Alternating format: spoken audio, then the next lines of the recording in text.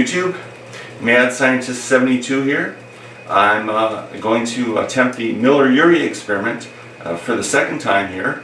Um, and as you can see, I um, I have my uh, my flat my primordial ocean here, the flask for the primordial ocean. I have 500 milliliters of distilled water, um, as well as um, 15 grams of sodium carbonate and 15 grams of potassium carbonate and I also added um, uh, 10 grams of iron powder.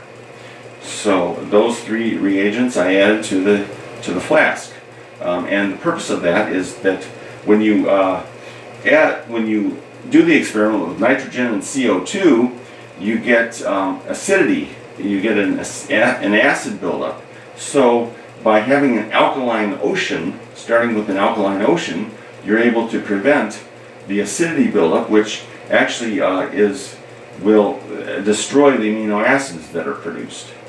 Um, and uh, Stanley Miller did that did this experiment in uh, 1983, and he did not have the alkaline ocean, and so he, his experiment failed. There were no amino acids produced because they all got destroyed from the acidity. Um, and anyway, we have a new um, a new uh, elect, um, electrode flask you can see it's uh, three liters. And uh, we have which uh, this represents the primordial atmosphere which we're going to pump in nitrogen and CO2 as I talked about in my last video. And we're going to uh, uh, boil the water and we're going to condense the vapor through the condenser column. And um, it's going to spill over into the uh, primordial ocean again just like the the water cycle would be would have been on the primordial earth. And so this is how we're going to do this experiment. And so what I'm going to do first is to uh, to purge the apparatus using this vacuum pump and also the nitrogen and CO2. So while the vacuum pump is sucking out all of the air, I'm going to be pumping in nitrogen and CO2. The nitrogen is in the back there and the CO2 is up front. So that is how we're going to do this. Um, and also the uh, electrode here is, I should mention, it's a 60,000 volt electrode, uh, which is powered by this um, uh, ignition coil. Um, and that's the, actually the original voltage that Stanley Miller used in his experiment was 60,000 volts. And so we are going to, uh, we're going to do this today. I'm very confident that this time uh, this will be a success. And so we're going to start the purging process now. Um, and uh, since it's uh, a little bit uh, uh messy and a little bit, well, it, it, takes a little bit of doing to to get it right. Um, I'm going to stop filming now, and we'll be. I will I will resume the experiment when the when the purging is is underway. So I hope that you'll stay tuned, and thanks for watching. So, as you can see now, we are uh, purging the apparatus with nitrogen and CO2, and we have our pump going, our vacuum pump. So uh, we're going to let this go for another um, 10 minutes, and then we'll be ready to uh, proceed. And then the next step would be to uh, to uh, fire up the heating mantle and heat this uh, this primordial ocean to boiling. And so, well, stay tuned for that. So we finally purged the apparatus. And as you can see, we have our um, we have our uh, pump going here for the uh, condenser, and we're pumping ice water through this uh, column.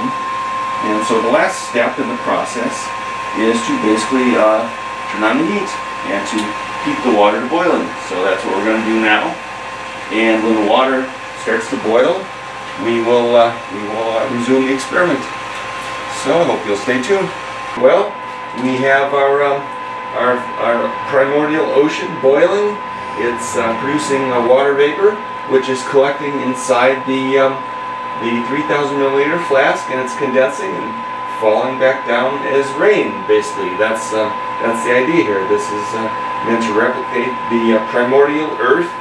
We have the water cycle, uh, evaporation from the ocean, cloud formation, and then fall the condensation falling as rain. And so the final step is we're going to um, we're going to introduce lightning into the apparatus, and I'm, I'm very excited about this because I've never gotten to this point before.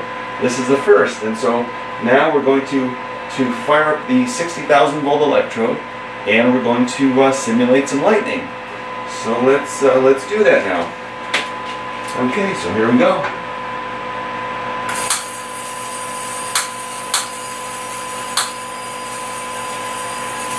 And there we go. You can see the uh, electrode is uh, is fired up, and we're um, we're doing some lightning now. So uh, we're going to let this go, and uh, hopefully we can uh, produce some uh, organic compounds, including amino acids.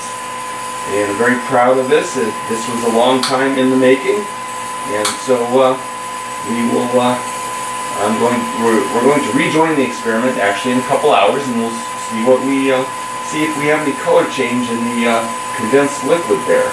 I don't think that we will because we're only using nitrogen and carbon dioxide, but you never know. So uh, we're going to see and uh, we will um, we'll rejoin the experiment in a couple hours.